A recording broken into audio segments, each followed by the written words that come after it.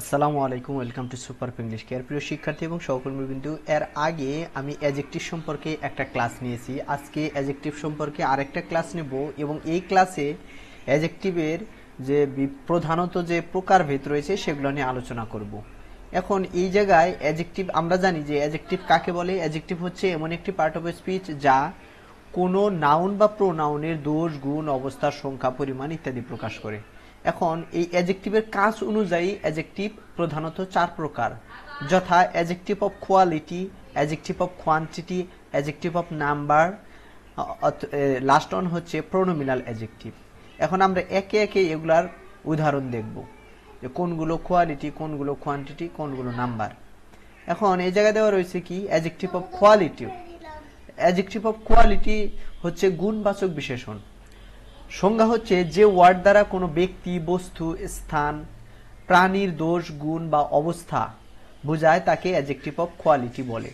যেমন he is an intelligent man এখানে এই যে ইন্টেলিজেন্ট হচ্ছে একটা অ্যাজেক্টিভ কারণ এটা হচ্ছে এই যে ম্যানকে মডিফাই করতেছে, এটা হচ্ছে নাউন কেমন মানুষ? বুদ্ধিমান মানুষ, সেটা বলা হচ্ছে, জ্ঞানী মানুষ।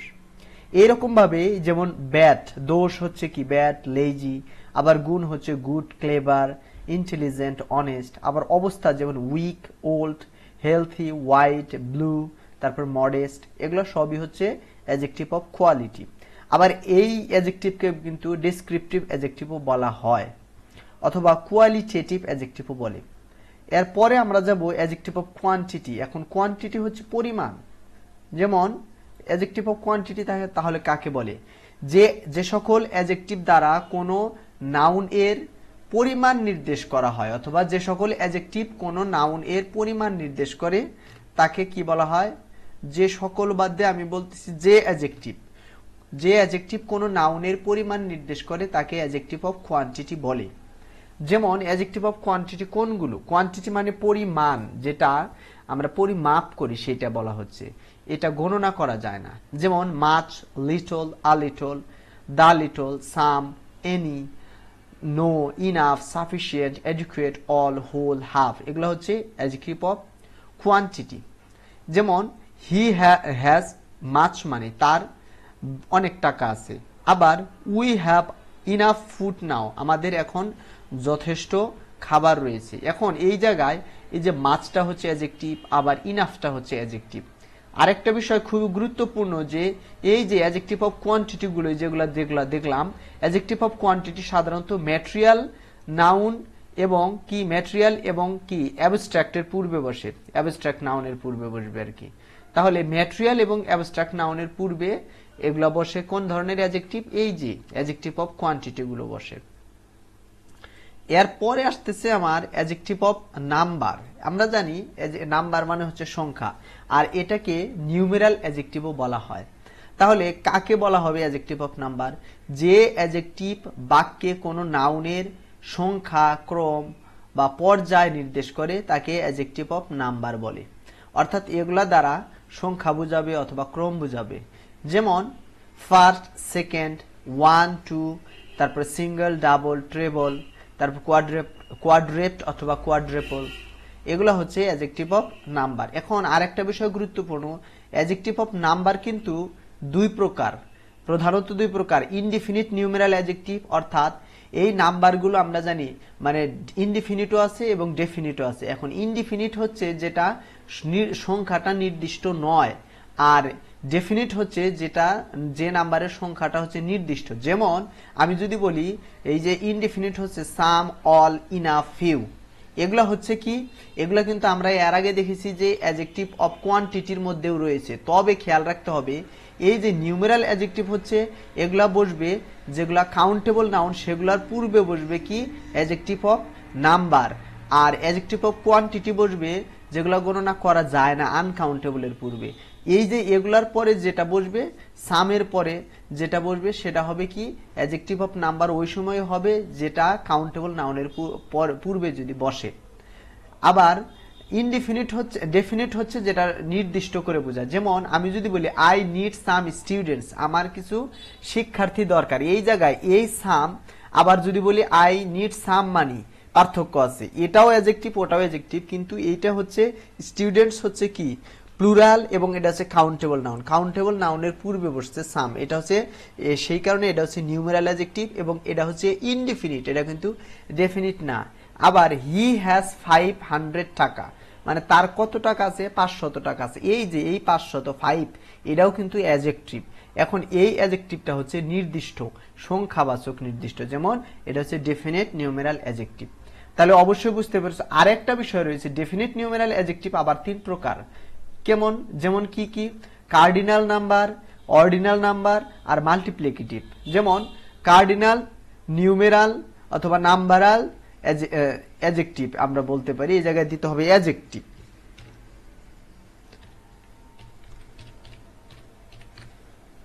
তাহলে এগুলা কি? ওয়ান টু থ্রি ফোর এগুলো হচ্ছে কার্ডিনাল মানে এগুলা এক, দুই করে গণনা করা যায় যেটা। আবার আমরা যদি দেখি অর্ডিনাল অর্ডিনাল নিউমেরাল অ্যাজেক্টিভ কোনগুলো? অর্ডিনাল নিউমেরাল অ্যাজেক্টিভ হবে যেগুলো ই করা যায়, যে অর্ডার বোঝায়। অর্ডার বলতে ফার্স্ট সেকেন্ড থার্ড এগুলা বোঝানো হয়। এখন এই জায়গায় যেমন ফার্স্ট সেকেন্ড থার্ড ফোর্থ এগুলো হচ্ছে অর্ডিনাল, অর্ডার বোঝায়। আর মাল্টিপ্লিকেটিভ হচ্ছে কি? সিঙ্গেল ডাবল ট্রেবল অথবা ট্রিপল আছে কোয়াড্রেপল কোয়াড্রেপ্ট এগুলো হচ্ছে মাল্টিপ্লিকেটিভ তার মানে আমরা নিউমেরাল অ্যাজেক্টিভের যে প্রকারভেদ, এটা কিন্তু শিখলাম। নিউমেরাল অ্যাজেক্টিভকে প্রথম, প্রধানত প্রথমে আমরা ভাগ করব ডেফিনিট এবং ইনডিফিনিট এর পরে ডেফিনিট নিউমেরাল অ্যাজেক্টিভ আবার তিন প্রকার, যেমন নাম্বার যেমন তিন প্রকার থাকে কার্ডিনাল অর্ডিনাল মাল্টিপ্লিকেটিভ ওই রকম প্রকারভেদ। এর পরে আমরা শিখব প্রোনোমিনাল অ্যাজেক্টিভ এখন প্রোনোমিনাল অ্যাজেক্টিভের বাংলা হচ্ছে সর্বনামবাচক বিশেষণ। এটা সহজেই বোঝা যায় কোন প্রোনাউন যখন নাউনের পূর্বে বসে, ওই নাউন সম্বন্ধে তথ্য প্রদান করে এবং অ্যাজেক্টিভের কাজ সম্পাদন করে, তখন তাকে প্রোনোমিনাল অ্যাজেক্টিভ বলে। সহজ ভাষায় হচ্ছে যে সকল অ্যাজেক্টিভের উৎপত্তি প্রোনাউন থেকে তাকেই বলা হয়, তাদেরকে প্রোনোমিনাল অ্যাজেক্টিভ বলে। এখন, এই প্রোনোমিনাল অ্যাজেক্টিভের আবার ভাগ রয়েছে। প্রোনোমিনাল অ্যাজেক্টিভকে কয় ভাগে ভাগ করা যায়? পাঁচ ভাগে ভাগ করা যেমন positive adjective demonstrative adjective distributive adjective তারপর হচ্ছে ইন্টারোগেটিভ অ্যাজেক্টিভ ইনডিফিনিট অ্যাজেক্টিভ এখন এই জায়গায় আমরা দেখব প্রোনোমিনাল যে রয়েছে, যেমন পজিটিভ যে সকল পার্সোনাল প্রোনাউন নাউনের পূর্বে বসে সেই নাউন সম্বন্ধে তথ্য দেয় এবং তার সাথে সম্বন্ধ স্থাপন করে, তাকে পজিটিভ অ্যাজেক্টিভ বলে। যেমন my his your our their her its এগুলো হচ্ছে পজিটিভ অ্যাজেক্টিভ যেমন its body is covered with fur এখন এই যে ইটস বডি, কার বডি? Its body. এই জায়গায় কিন্তু কি হয়েছে? পজিটিভ, অ্যাজেক্টিভ হয়েছে। আবার হিস পেন, এই জায়গায় একটা বিষয় খেয়াল করবে, এগুলার পরেই অ্যাজেক্টিভ মানে নাউন থাকে। সেই কারণে এটা হচ্ছে কি? Pronominal, positive, adjective. আবার এগুলো কিন্তু পজিটিভ প্রোনাউন হিসাবেও ব্যবহৃত হতে পারে, এগুলা অন্যরকম এগুলা আলাদা ক্লাস নিতে হবে। যেমন, they are going to his house.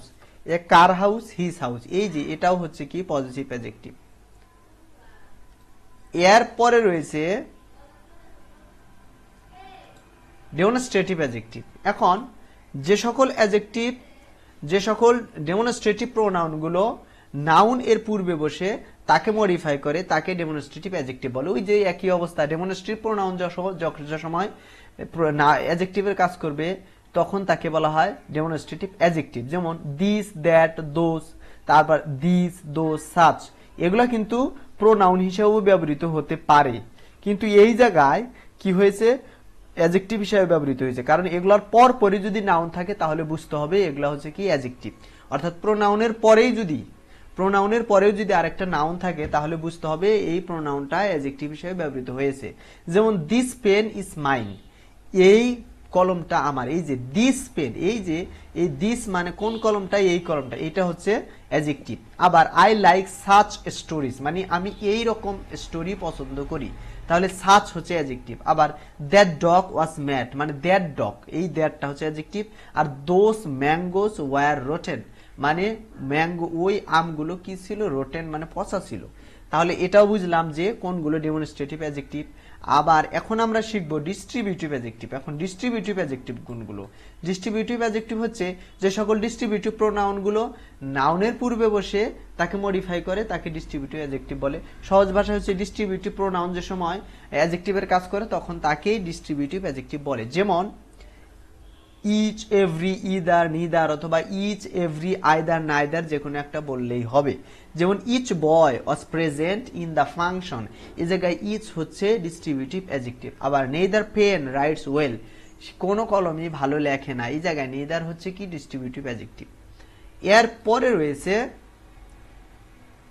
Interrogative adjective তাহলে ইন্টারোগেটিভ অ্যাজেক্টিভ কোনগুলো? ইন্টারোগেটিভ প্রোনাউন যখন নাউনের পূর্বে বসে একে বিশেষায়িত করে, তখন তাকে মনে বলা হয় কি? এবং পাশাপাশি প্রশ্নবোধক অভিব্যক্ত প্রকাশ করে, তখন তাকে ইন্টারোগেটিভ অ্যাজেক্টিভ বলে। যেমন হুইচ হুজ ওয়াট যেমন which pen will you buy মানে তুমি কোন কলমটি কিনবে? আবার what way do you follow to go to Dhaka university মানে কোন রাস্তা তুমি পছন্দ করো? অথবা ফলো করো। হুজ পেন ডিড ইউ বড় মানে তুমি কার কলম ধার করেছিলি? এই জায়গায় সবগুলার পরে কিন্তু কি রয়েছে? নাউন রয়েছে। তার মানে এই সবগুলাই হচ্ছে কি? অ্যাজেক্টিভ আর এটা হচ্ছে ইন্টারোগেটিভ অ্যাজেক্টিভ এর পরে আরেক প্রকার অ্যাজেক্টিভ রয়েছে, সেটা হচ্ছে ইনডিফিনিট অ্যাজেক্টিভ এগুলা, এই পাঁচ প্রকার আমরা কি শিখতেছি? এটা কিন্তু সবই হচ্ছে প্রোনোমিনাল অ্যাজেক্টিভ তাহলে সহজ ভাষা হচ্ছে কোনো ইনডিফিনিট প্রোনাউন যখন নাউনের পূর্বে বসে একে বিশেষায়িত করবে, বিশেষিত করে, তখন তাকে ইনডিফিনিট অ্যাজেক্টিভ বলে। যেমন some few many one all any several যেমন one boy was present in the class এই জায়গায় আবার সাম গার্লস এগুলাও কি? ইনডিফিনিট অ্যাজেক্টিভ হিসাবে ব্যবহৃত হয়েছে। এর পরে আসতেছে প্রপার অ্যাজেক্টিভ এইটা আরেক ধরনের অ্যাজেক্টিভ এখন আমাদেরকে বুঝতে হবে প্রপার নাউন কাকে বলে। প্রপার নাউন আমরা জানি নির্দিষ্ট নাম যে নাউন দ্বারা বোঝায় তাকে প্রপার নাউন বলে। এখন এই প্রপার নাউন যদি এই জায়গায় বলা হচ্ছে প্রপার নাউন থেকে যে অ্যাজেক্টিভ তৈরি হয়, হয়ে নাউন এর পূর্বে বসে ওই নাউন সম্বন্ধে তথ্য প্রদান করে তাকে প্রপার অ্যাজেক্টিভ বলে। যেমন Bangladeshi, Indian, Canadian, American, German, Chinese, Australian. এগুলা এক একটা কিন্তু প্রপার অ্যাজেক্টিভ আমি যদি বলি আই অ্যাম আ বাংলাদেশি এই জায়গায় বাংলাদেশি এটা হচ্ছে অ্যাজেক্টিভ আবার Indian it's an Indian product যদি বলি, তাহলে এই যে ইন্ডিয়ান এটা হচ্ছে অ্যাজেক্টিভ কিন্তু প্রপার অ্যাজেক্টিভ এর পরে আসতেছে পার্টিসিপল অ্যাজেক্টিভ এখন পার্টিসিপল অ্যাজেক্টিভটা কি দেখব? যেমন বলা হচ্ছে প্রেজেন্ট পার্টিসিপল অ্যাজেক্টিভ রয়েছে পার্টিসিপল আরও প্রকারভেদ রয়েছে। এই জায়গায় যেটা দেওয়া রয়েছে পার্টিসিপাল অ্যাজেক্টিভ হচ্ছে কি? স্ট্রাকচার ভার প্লাস আইএনজি যদি কোনো নাউনের সামনে বসে সেই নাউনের সম্বন্ধে তথ্য প্রদান করে, অর্থাৎ অ্যাজেক্টিভের মতো কাজ করে, তখন তাকে প্রেজেন্ট পার্টিসিপাল অ্যাজেক্টিভ বলা হয়। যেমন I saw a running train আমি একটা কেমন ট্রেন দেখলাম? চলন্ত বাস দেখলাম, ট্রেন দেখলাম। এখন এই জায়গায় এটা কিন্তু পার্টিসিপল আর পার্টিসিপল যেহেতু অ্যাজেক্টিভের কাজ করে, সেই কারণে এটা বলা হয়েছে পার্টিসিপল অ্যাজেক্টিভ এটা এত বেশি গুরুত্বপূর্ণ না।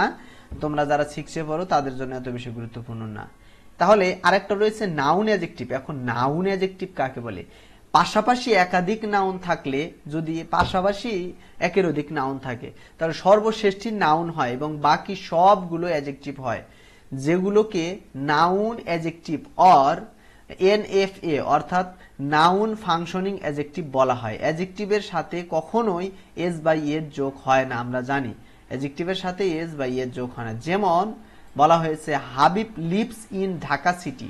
তাহলে কোন সিটি? ঢাকা সিটি। এই জায়গায়, এই ঢাকাটা হচ্ছে অ্যাজেক্টিভ আবার she is a village girl. এই জায়গায়, ভিলেজ কিন্তু নাউন কিন্তু এই জায়গায় গার্ল রয়েছে, আবার ভিলেজ রয়েছে। তার মানে এটা হচ্ছে অ্যাজেক্টিভ এবং এটা হচ্ছে নাউন আবার Yusuf is an young university English teacher এখানে এই যে ইয়াং ইউনিভার্সিটি ইংলিশ টিচার পুরো টই পুরো মানে সবগুলো হচ্ছে অ্যাজেক্টিভ এবং এইটা হচ্ছে কি? টিচারটা হচ্ছে নাউন এটা বুঝতে হবে।